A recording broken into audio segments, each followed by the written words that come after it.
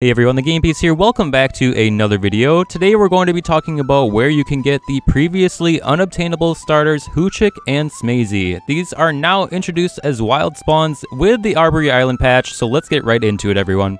So to start things off, we're going to get into the Houchic spawn. Houchic will have a 5% spawn chance, and it'll spawn actually right at the beginning close to where you start Arbury. As you make your way through Lockburg and head west, there will be a single grass patch right to the west there, and it will spawn Houchic.